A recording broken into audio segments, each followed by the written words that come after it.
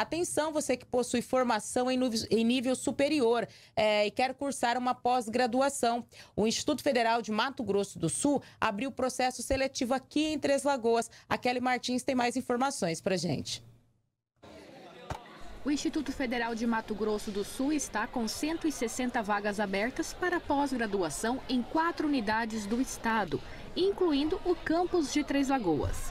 Na unidade daqui, são ofertadas 40 vagas para especialização em docência para educação profissional, científica e tecnológica. Além do campus de Três Lagoas, também há vagas para Corumbá, Nova Andradina e Ponta Porã. As inscrições são gratuitas e poderão ser feitas a partir de quarta-feira, 11 de janeiro. O prazo segue até o dia 29 de janeiro. Os interessados devem se inscrever na página do candidato da Central de Seleção do IFMS, onde está publicado também o edital com todas as regras do processo seletivo. A pós-graduação deverá ser concluída no prazo de 12 a 18 meses, em regime modular e com carga horária de 360 horas, acrescidas de 60 horas para o trabalho de conclusão de curso, que é o TCC. Os módulos serão ofertados de forma presencial, mas algumas disciplinas poderão ser desenvolvidas à distância.